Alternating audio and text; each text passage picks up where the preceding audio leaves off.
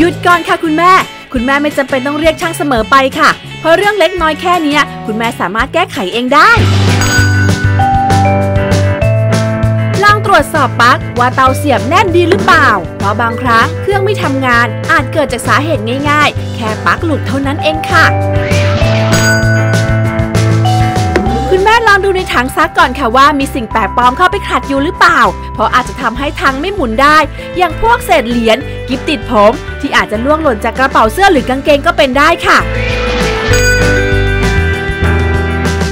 คุณแม่ลองเช็คค่ะว่า ในจุดดักกรองมีสิ่งสกปรกอุดตันมากไปหรือเปล่า แค่เรานำเศษผ้าหรือสิ่งสกปรกออก เครื่องซักผ้าก็จะทำงานได้เป็นปกติแล้วล่ะค่ะ ไม่ควรซักผ้าในปริมาณเยอะๆในครั้งเดียวค่ะ เพื่อไม่ให้ปริมาณผ้ามากจนเกินไปค่ะ ถ้ารู้สึกว่าซักผ้าไม่ค่อยสะอาด ลองเปิดน้ำใส่ถังซัก แล้วเทเบกกิ้งโซดา 1 ใน 4 ถ้วย ทิ้งไว้ 1 คืนค่ะ แล้วค่อยเปิดน้ำทิ้งเบกกิ้งโซดาจะช่วยขจัดคราบสิ่งสกปรกในถังซัก เพียงเท่านี้คุณแม่ก็สามารถดูแลเครื่องซักผ้าเองได้ โดยไม่ต้องเรียกช่างแล้วล่ะค่ะ บอกเลยว่าทำเองก็ได้ง่ายจัง